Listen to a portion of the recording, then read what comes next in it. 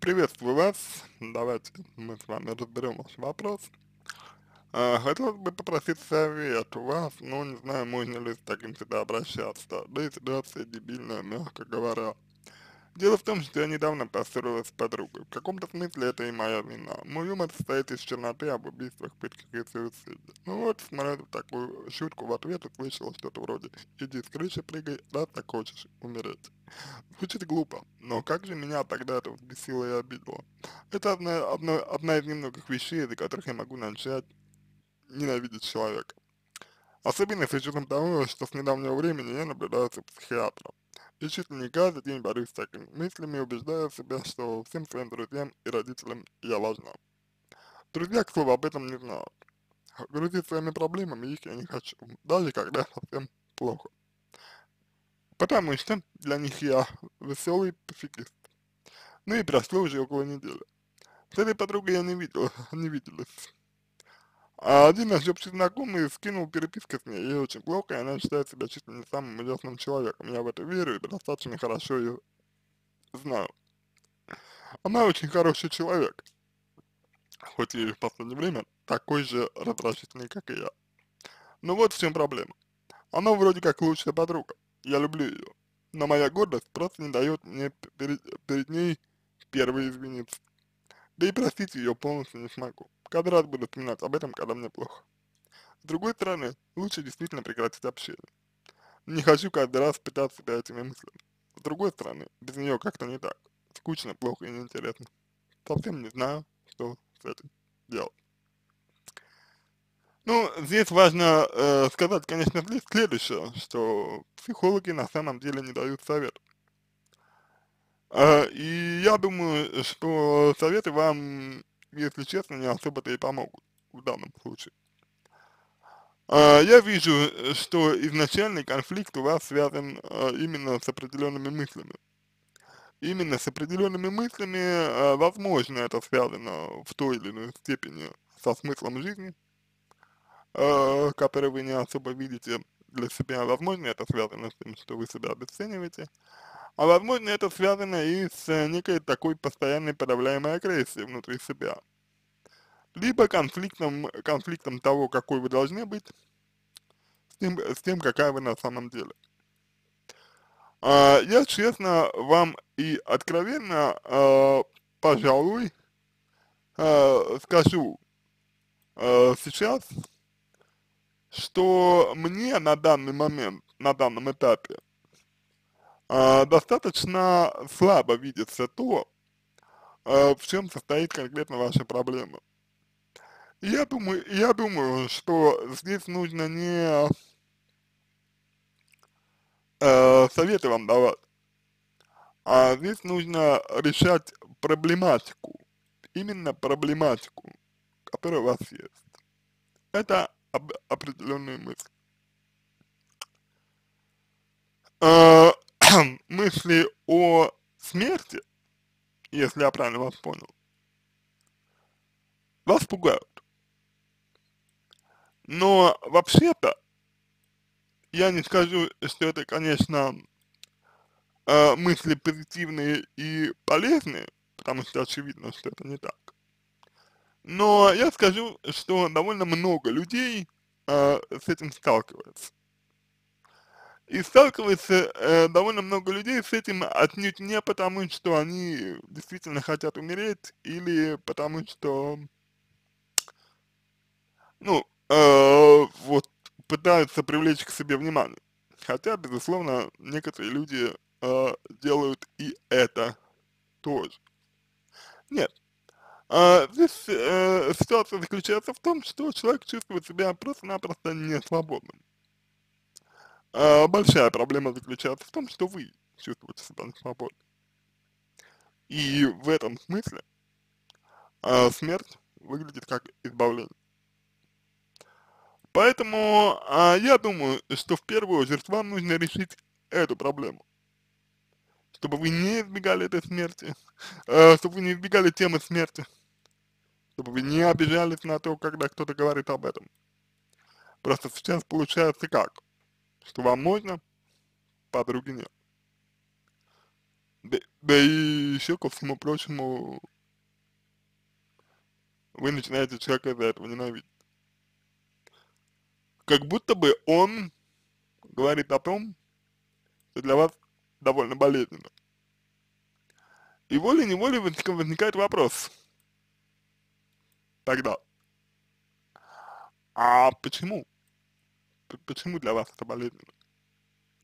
Ответ на этот вопрос э, заключается, на мой взгляд, э, ну, пока что, без учета ваших, ваших особенностей возможных в следующем, в том, что вы не свободны. Вы чувствуете себя не свободно.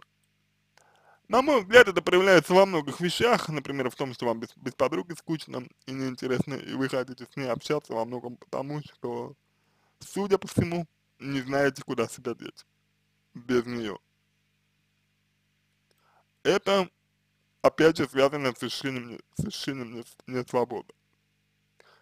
Когда человек не знает, куда себя деть, он чувствует себя несвободным. То есть в ситуации,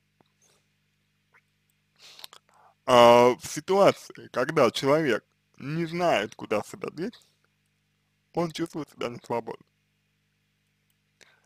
И важно решить, я повторюсь, именно эту проблему. Именно эту э, как бы проблематику. Именно данный конфликт необходимо разрешить. Тогда вы сможете и простить человека, возможно, а возможно и нет. Прощать ведь вас никто, вас никто не заставляет. Вы, может быть, сможете простить человека, может быть, и не, не сможете простить человека. Ну, по большому счету, хотите, хотите верьте, хотите нет, это не так важно. Я повторюсь, на данный момент, по моему мнению, вы смотрите несколько не в ту сторону. И, на мой взгляд, это не случайно. Вы э, по ряду причин стараетесь этой ситуации избегать, скорее всего. Вас она пугает, вам она неприятна, вы не знаете, что, что с этим делать, вы чувствуете себя какой-то не такой. Э, вероятно, вероятно, всегда добавляется еще и то, что вы находитесь, э, ну, как бы, на учете у психиатра.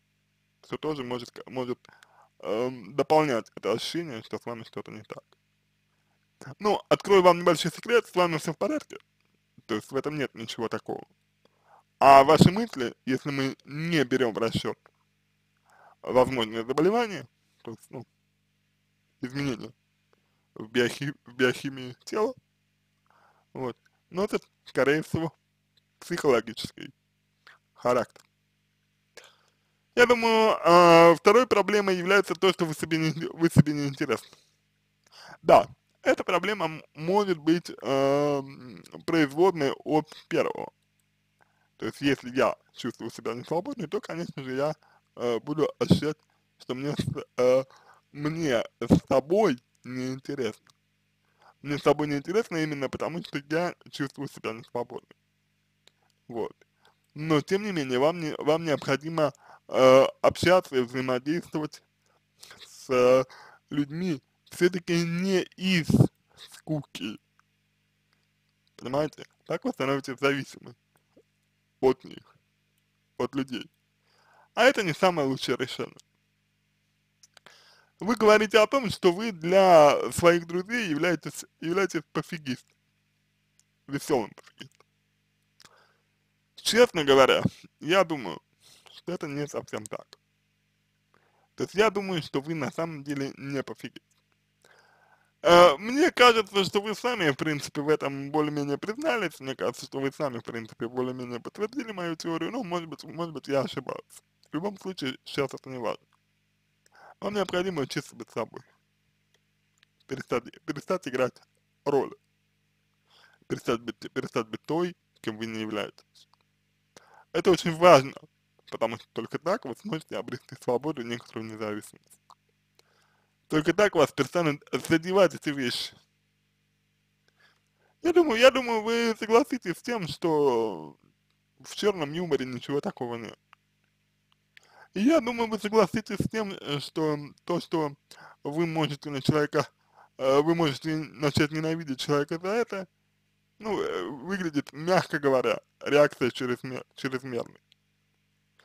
Хотя здесь, может быть, вы и не согласитесь, но тем не менее, это реакция чрезмерная. Человек, человек ведь вам не хочет смерти. А вы знаете, что подруга сказала вам это из других чувств. Дальше. Вы говорите, что первый извиняться вам не хочется. Интересно, почему? Если вы, если вы признаете, что были неправы, то, вообще говоря, извиниться это нормальная реакция. Но вы этого не хотите. Почему? Боитесь, возможно, быть слабой. И, или, может быть, боитесь того, что вас, ваш образ, который вы построили, разрушится. Вероятно, по вашему мнению, э, веселые пофигисты первыми не, извиня, не извиняются. Ну, и что ж, возможно, пришло время признать, что вы не такая, какой э, себя представляете. Это нелегко. Нелегко это признать. Это правда. Но это единственный путь. И дабы вы не были, не были одна в этой ситуации, я думаю, что имеет большое значение то, чтобы вы заручились поддержкой. И если мы говорим о поддержке, то это, конечно же, психологическая поддержка. То, что вы работаете с врачом, это хорошо. Вы молодец, что, о себе, что, что заботитесь о себе. Но вам нужна и психологическая помощь тоже. Еще бросается в глаза то, что вы склонны все обесценивать. Обесценивать себя, обесценивать других. На самом деле, когда человек, человек обесценивает, он в этот момент сталкивается с чем-то важным. Но пытается от этого убежать. Я думаю, что ваша задача заключается в том, чтобы научи, научиться замечать и признавать, что то, что вы обесцениваете, на самом деле для вас имеет значение. И значение серьезное. Чем лучше вы это сделаете, тем больше у вас шансов на то, чтобы ваша жизнь изменил, изменилась. Совершенно неважно, с подругой вы это будете делать, или одна вы будете это делать. Поверьте, это не так важно. Гораздо важнее, гораздо важнее то, чтобы вы начали это делать. Сейчас, сейчас вы фокусируетесь на своей подруге. И я понимаю, почему вы это делаете. Скорее всего, вы это делаете для того, чтобы не сталкиваться с главной, основной проблемой. Тем не менее, мне бы не хотелось, чтобы вы от нее отходили. Ну, это было бы неуважительно по отношению к вам, это было бы неправильно по отношению к вам. Я правда так считаю. Вот, вот как-то, как-то так. Проблема не, проблема не дебильная как вы об этом говорите. Проблема достаточно серьезная. И ее нужно признать. Из не работает. Свои чувства необходимо учиться проживать. Тогда вам будет легче прощать людей. Мне кажется, что у вас достаточно высокие требования к, к себе. Мне так кажется. Понятно, что я в этом не уверен. И понятно, что я могу быть неправ. Но мне кажется, что вы к себе очень требовательны. И отсюда прямо вытекает ваша требовательность к другим людям. Что тоже, на мой взгляд, не является случа случайным. Поэтому, как только вы снизите требования к себе, вы сможете э, снизить требования к другим людям. И снизив требования к другим людям, вы получите возможность их прощать. Не сразу и не на сто процентов, потому что есть вещи, которые вы действительно не можете простить.